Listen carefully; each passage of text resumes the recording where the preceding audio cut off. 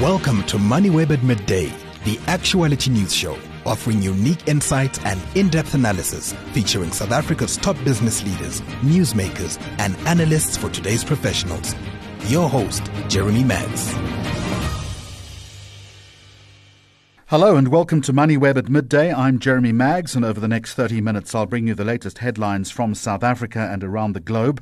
Whether you're tuning in live or catching the podcast later, please stay with us for in depth conversation with leading business minds, political influencers, and key newsmakers. It is everything you need to stay informed quick, sharp, and straight to the point.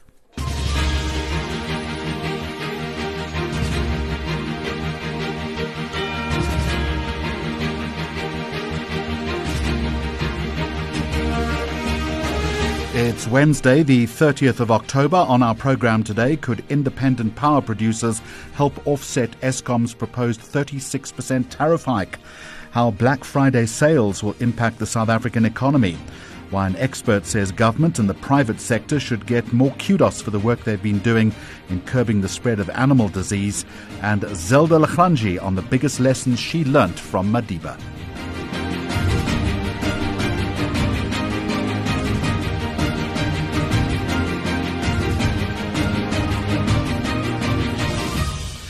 With rising electricity costs and the strain of load shedding, South Africans have been seeking any sign of relief when it comes to their power bills. Now, there has been a positive development on this front. New price trends and improvements in grid infrastructure may offer a little bit of a financial breather for grid power users in the country. And today I want to unpack what this means for consumers and the broader future of South Africa's energy landscape. Roy Havemann is with us, consulting economist at the Bureau for Economic Research. And first of all, then, Roy, can you explain the improvement? Oh, well, there's been a number of developments, I think, from the industry side in terms of an improved um, model for financing of grid infrastructure. As we know, um, the big constraint at the moment is the lack of sufficient grid infrastructure for the new um, renewable energy plants that are coming online. And uh, we're looking, hoping that there will be announcements from the Treasury on uh, how infrastructure grid will be financed. In addition, Eskom has also made a number of progress in terms of unlocking more grid availability by um, better optimization of the grid. So, what is driving this then? What are the main reasons for the drop in grid power costs? In grid power costs? Mm. Yes, well, um, the grid is, as you know, has been severely constrained. So um, the uh, drop in the grid power cost has been mainly as a result of uh, a number of factors, including uh, improved financing conditions. Um, the obviously the Eskom has substantially improved its energy availability factor as a result of a number of initiatives that it's undertaken over the last year. Um, which has put more electricity onto the grid, um, that has helped stabilize the grid, and that has overall, I think, led to a substantially improved situation for the grid. And Roy, are these uh, regional, or are there regional differences in cost reduction, or is this now a national trend, which I guess would be welcomed? Yes, well, the grid, as you know, is quite regionalized in terms of uh, different capacities in different parts of the grid. So, one of the issues has been the grid capacity has been very constrained in the Western Cape. Um, and in the Northern Cape because most of the new um, electricity is being put online in the Northern Cape. And so the regional dynamics have been quite important, and it is a general trend overall. Um, but you know, overall, the doesn't really matter if it is regional or, or national. Um, the impact will be felt throughout the country because if you can unlock grid capacity in certain parts of the country, then you can utilize that capacity elsewhere. So, obviously, then we have a new price paradigm here. How is this affecting, or is it too early to say, the average South African household's monthly power bill?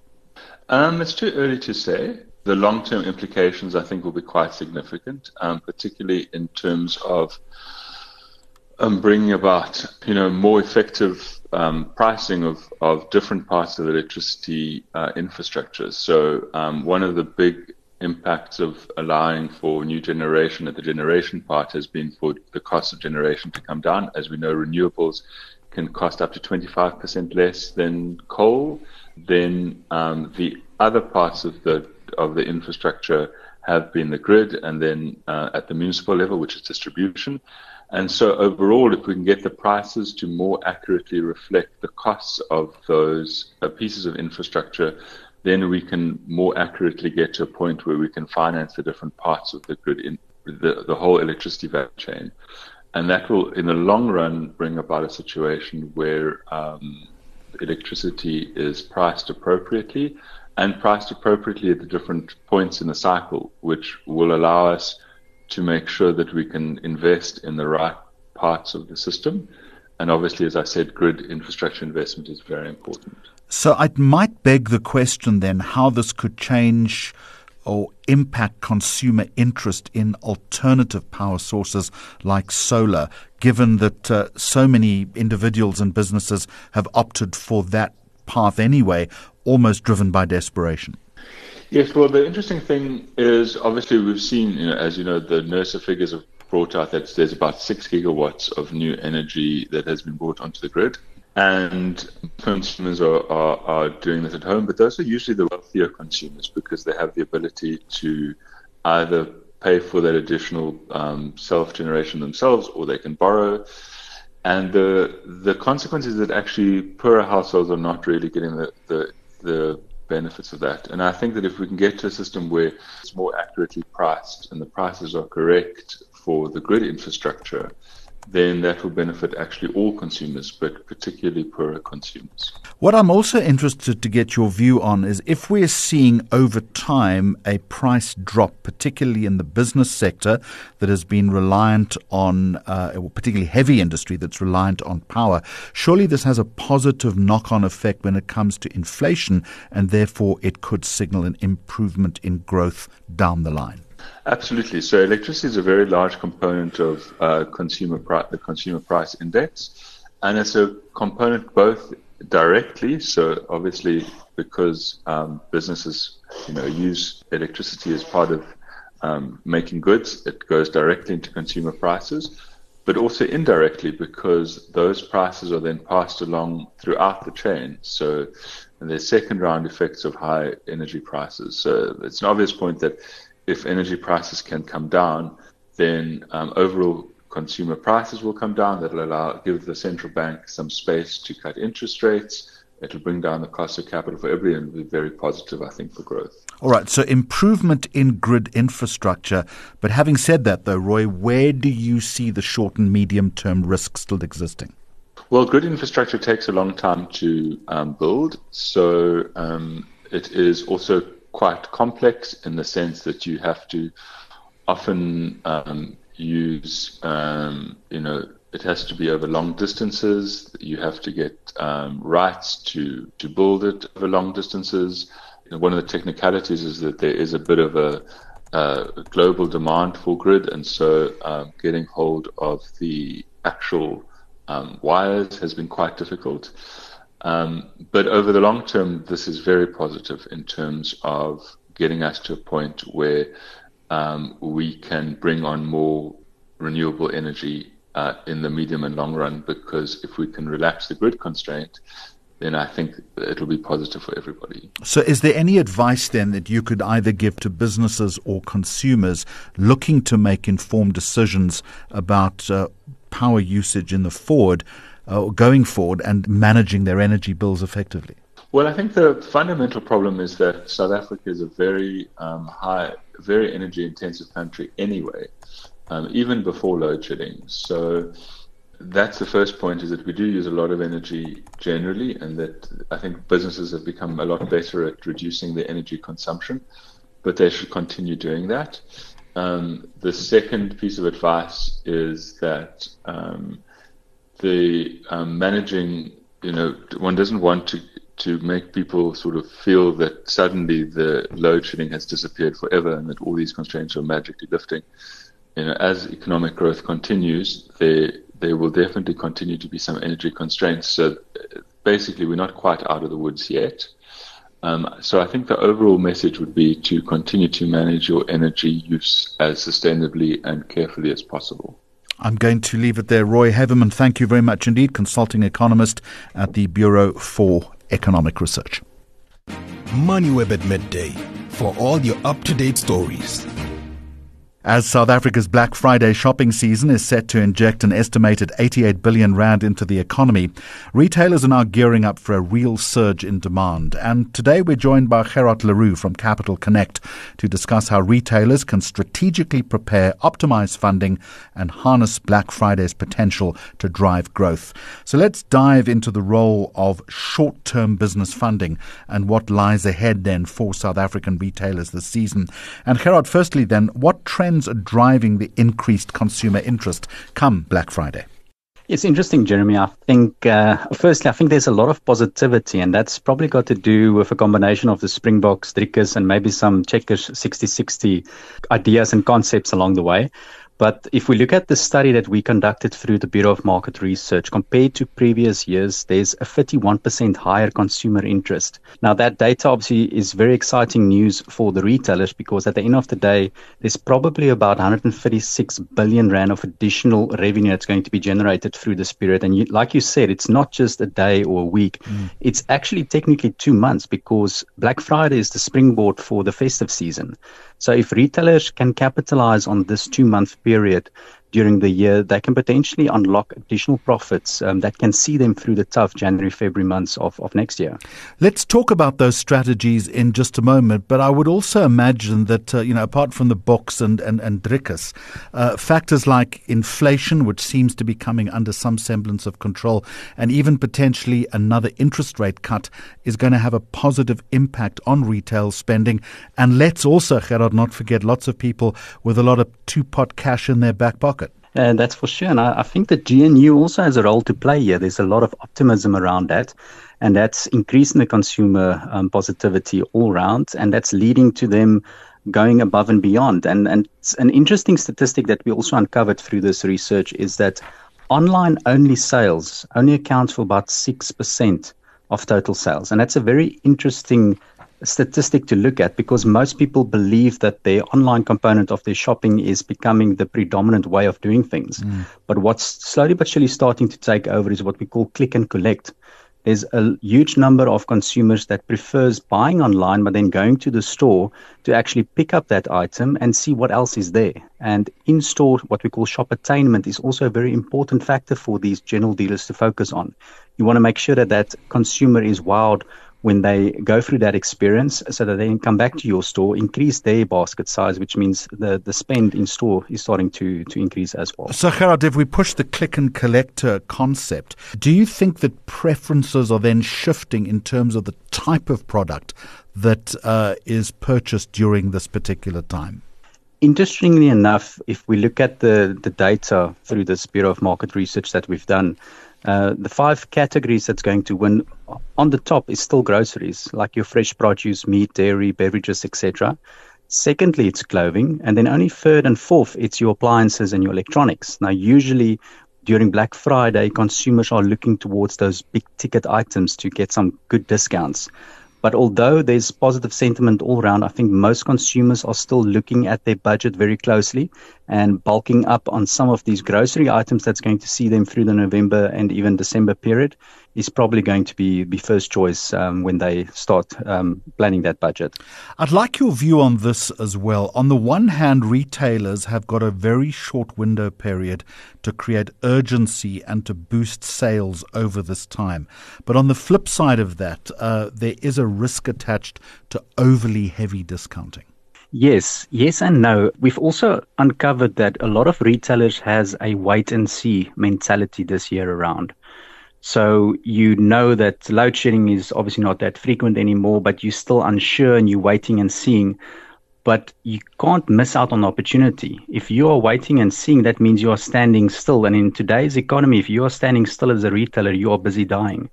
You need to make informed decisions. And yes, you can't just buy any opportunity that's around you. You need to know who's your target audience, become customer centric but then capitalize on that. And having access to short term opportunity capital is a perfect way of uh, capitalizing on this period. And I would like to encourage retailers that do see some profits during this November and December period to make sure that they reinvest that back into the business for next year. Look at diversifying, look at adding additional profit centers within your, your business.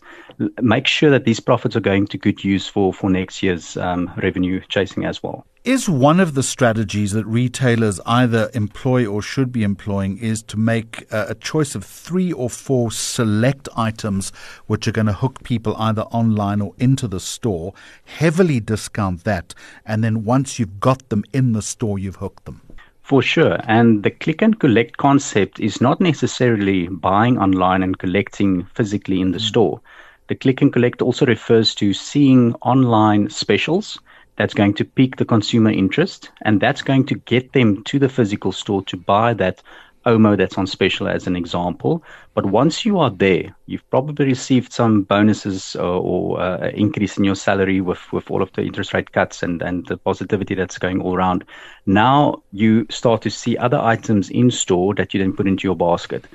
So yes, the big ticket items, the specials, that's going to get consumers to the store, but then it becomes the retailer's uh, prerogative to start being extremely creative with their marketing in store to make sure that that spend increases while the consumer has has their attention. And part of that, Gerard, is to make sure that uh, you can rise above the media noise over a certain period of time, given that everyone is doing the same thing.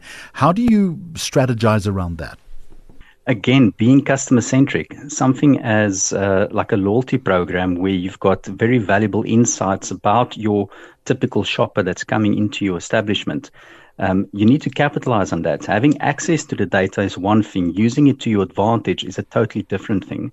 And one thing that retailer often overlooks during this period is also great customer service in store, right through from the security guard greeting you at the main entrance to the cashier helping you, to somebody that's seeing that you are lost and you can't find the item you're looking for and just holding your hand and taking you to that item. That customer service can go a long way for repeat business in the future.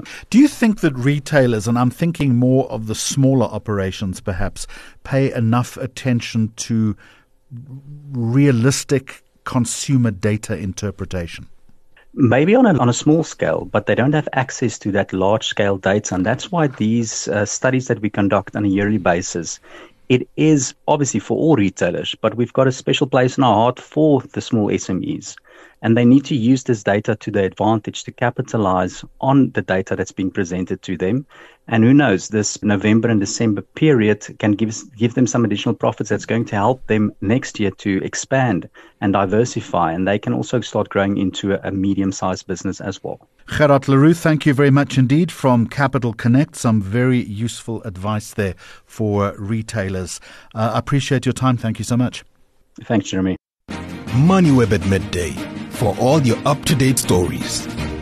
South Africa's agricultural sector has been facing mounting challenges with the spread of animal diseases, which pose significant risks to food security and economic stability. Recently, collaborative efforts between the government and the agriculture industry have made notable progress in controlling these outbreaks. And today, I want to look at how these efforts are shaping the future of animal health management in the country and what it means for farmers and consumers. Wandile Sihlobo is the chief economist of the Agricultural Business Chamber of South Africa and joins me now. So, first of all, Wandile, what are the main diseases that we're talking about and the impact then on the economy? Yeah, Jeremy, I think the first point perhaps maybe to, to put forward is that the livestock and poultry is super important to South Africa's farming economy. If you think about the gross value added of agriculture, about half of our farming fortunes is really livestock and poultry. There's also further interlinkages because the, the point is that in our annual consumption, say, of maize, about half of it goes to to, to, to livestock and poultry. Uh, soybeans also goes there. So that means that whenever you face challenges in the poultry and the livestock industry, you tend to pretty much see all of that causing ripple effect across mm. the farming economy. In the past three years, we have experienced about three major diseases. One, foot and mouth in cattle, two, African swine fever in uh, uh, pigs, and three, the avian influenza in our poultry industry. That's where the challenges have been. Is all of this just part of the natural agricultural cycle, or did the industry itself drop the ball somewhere in terms of prevention and control? I would say broadly, it is part of the agricultural cycle in a sense that these diseases are not unique to South Africa. You may recall that about three or four years ago, China struggled in their pig industry with the African swine fever. Uh, and we see in Europe the avian influenza continuing to be an issue. But of course, there's always an element of ensuring that within the industry, farmer by farmer, everyone must ensure that the biosecurity controls are intact um, and we are all people. There could always be room for any error, but I would say broadly looking at it, uh, this is a challenge that we see all over the world, but we need to intensify ways of saying how do we control it. And the impact, of course, and we'll get to control mechanisms in just a moment, but the impact, of course, always is on food security. And in that respect, South Africa is always on a knife edge here. South Africa is always on a knife edge, uh, Jeremy. You, you will recall that uh, we embarked about two or three years ago on a strategy where we were saying, as a sector, we want to be export led, which is really something that has assisted in our growth over the past uh, three decades. But in a beef industry specific, it's only in the past three to four years where we're saying we are focusing on exports. Now, if you have these animal disease outbreaks, you tend to have your products banned uh, in terms of trade which is exactly what we saw in some of the beef market in, in various markets, uh, which is why if you were to look at our 2022 beef exports, they were down double digit. It is only in 2023 where we started to see a modest recovery. And indeed, even wool industry. Wool industry is very important for the farming economy of the Eastern Cape, particularly the Transkei region, where there's still a lot of smallholder farmers that aggregate wool, and about 70% of our wool is exported to China. And China, at some point in 2022, put a temporary ban in our wool exports, and that also had a massive impact 22% or so in value terms decline in our wool exports um, into, into China. So, those are all of the difficulties that we, we have faced, which is why biosecurity is important there. And of course, then it has an element of food security as well, because when the farming towns and the farming economy is not doing well, you tend to see that in the vibrancy of these regions. So, how successful has this uh, government uh, industry stakeholder? Stakeholder collaborative approach been? I think we have been uh, quite successful. At the end of last week, the Department of Agriculture issued a formal statement saying, look, we have been cleared in a number of provinces, and even at the international level, the bodies that regulate this, they are saying, okay, we are happy with South Africa that you have made progress. And this is a commendable step, um, uh, Jeremy, because you remember that in 2022, for the first time, six of our nine provinces had what we call foot and mouth disease, which was affecting the cattle industry. Now, to have progress that we have made, where only KZN and the Eastern Cape still struggle, that means that we can now continue in our ambition of growing the red meat export in various markets, but also China had put certain protocols to ensure that we can continue to export our wool even if there is outbreak of foot and mouth in cattle and it's not affecting sheep. So in a way, we are starting to see a recovery, and I think that um, the the Department of Agriculture working with industry, they just have to intensify that and even think about the vaccine manufacturing capabilities that needs to be improved domestically. Are you confident about the requisite improvement in vaccine availability and veterinary support? On a vaccine, uh, Jeremy, I'll, I'll, be honest with you that we, we still struggle as a country. You may have read um, that the OBP, which used to be the country's golden child when it comes to vaccine production, has faced management challenges over time. And I am not fully, fully as confident that we are there yet. I know from conversation with the minister, with the director general, that they are working on ensuring as a department that it, it, it, it recovers. But I think that will take some time. The same is true for the agricultural Research Council, the ARC. But I think what uh, gives hope about the current moment is that the right conversation and the right potential investments are being put on the table to say how do we begin uh, to boost our production uh, of the vaccines. In the past few months, we have relied on what we import from the likes of uh, Namibia and the others that have been assisting us. But I think as a country, we, we do need uh, to intensify our efforts and revive because we do have the institutions. It's just that they, they felt under management challenges over the past few years. Do we need to intensify our adaptation and investment in technology when it comes to monitoring and managing animal health?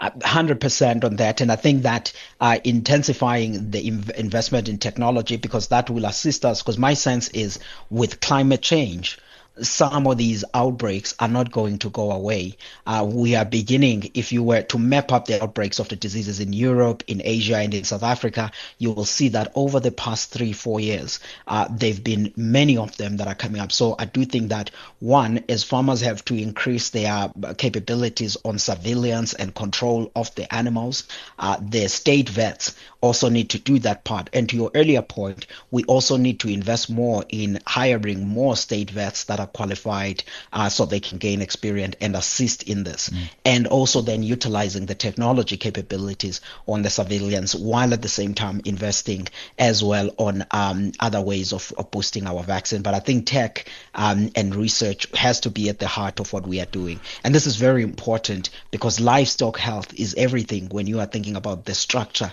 of the South African farming economy.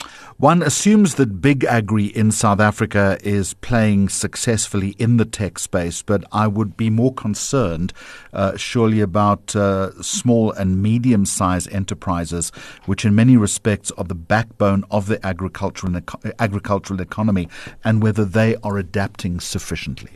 This is why, Jeremy, because you, you're raising a super important point here, and this is why we say uh, investment and revival of the OBP uh, as well as the ARC, the Agricultural Research Council, is important because those are state owned entities whose research output benefits everyone, not only those that have the financial muscle to go ahead. But also, when you deal with the biologicals, there's certain vaccines that cannot be produced at a private sector level.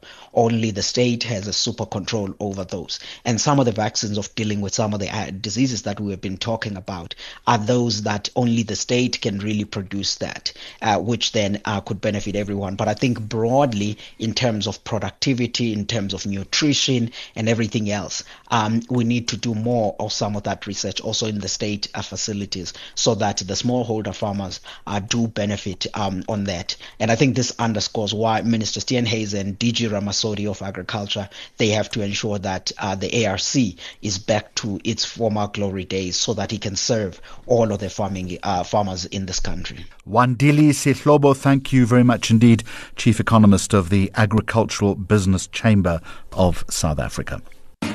You're listening to MoneyWeb at midday.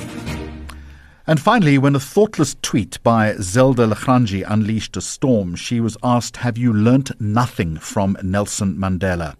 Well, a new book called What Nelson Mandela Taught Me is the answer. For years, she was the closest witness of Mandela's interactions with people, both famous and ordinary, and in it she draws out his lessons on humility, respect, and honesty, and also how to listen, to truly listen, and what to do if you realize that you've made a mistake, a lesson she herself had to learn the hard way. It really is a new primer for anyone in business. And she joined me earlier on Fix SA right here on MoneyWeb. The podcast drops on Friday, and this is an extract. And Zelda, on a bigger canvas, uh, you say that he also understood that, that uh, for the country to avert civil war, it was necessary to show compassion in order to forgive and move forward. I mean, obviously, that later came out in the Hansie Cronje story. But you also say we hardly see this kind of empathy these days. And that's a real problem in uh, the kind of dog eat dog world of not only politics in South Africa, uh, but also the hard nosed uh, way of business. Absolutely. And, um, you know, it's that very simple ethos of putting yourself in someone else's shoes, you know, trying to understand their suffering and their battles. And very few of us, because of the fast pace also that we live in today, um, very few of us actually take the time to try and imagine that and show that kind of empathy and sympathy, um, sometimes, you know, to people. So I think Madiba was particularly good at that, um, you know, showing people or taking um, hands with people, um, you know, as I, again, the opposition position, trying to also put himself in their shoes and, and they uh, trying to imagine their fears and they trying to understand, you know, what they were facing. And that made him such a successful negotiator and because he had the ability to see things from all different sides. So I think that's something that we should pay a lot more attention to. Um, and it will make the world a much kinder place if we do so with a little bit um, compassion, a, a, bit more compassion. Zelda, I'm going to mix my metaphors slightly here, but uh, in order to see everything from that uh, full 360 degrees that you reference, you also have to listen. So you're not only using your eyes, but your ears as well. And you write about Mandela's approach to listening and why it is such an important skill in today's uh, divided uh, world, divided South Africa, sometimes divided communities. What did you learn about his approach to listening? Well, Jeremy, the first childhood memory that Nelson Mandela had was about learning the art of listening. He was as a young boy, and I detail it in um, what Nelson Mandela taught me. Um, he, as a young boy, he was allowed in meetings of the elders in the tribe, in the Tembu tribe. Um, the sole purpose, what he witnessed there, was the sole purpose of the leader of the meeting was to listen to all the submissions made um, around the table. So um, the the leader was only listening and, and then at the end, the leader gave a summary of all the inputs that were given, not his own opinion. And that for me had an unquestionable influence on Nelson Mandela's own ability to listen. He listened to people with the intention of understanding them and not with the intention of always responding. And I think with instant gratification and smartphones today, we listen to respond because there's this very unhealthy um, environment that we live in that you have to be the smartest or you have to have most likes or the most popular uh, social media post, whereas we then lose the ability to really listen to understand. So for me, that was something that we practice also every single day. And sometimes, you know, we would just look at you while you give your submission. And at the end, he would just say to you, um, Oh, yeah, very well. I see. And that meant that in that moment, he saw you and he observed you completely, but it didn't mean that he necessarily agreed with you. So I think, you know, that's also something that leaders should be able to do is just to listen to people and really pay attention to uh, body language and all the things that come with it, you know, but really listening with the intention to understand where the other point is coming f- from. The book is called What Nelson Mandela Taught Me. Timeless Lessons from Leadership and Life. The author is the well known Zelda la Grange and the publisher is Tafelberg. And that is our program for today. MoneyWeb at midday is live at noon weekdays. We're then up as a podcast. Thank you for listening and goodbye. Listen to the daily live stream of MoneyWeb at midday or download episodes on moneyweb.co.za, the MoneyWeb app, Apple Podcasts, and Spotify. Or follow MoneyWeb News on social media for more updates. MoneyWeb, your trusted source for business and investment insights.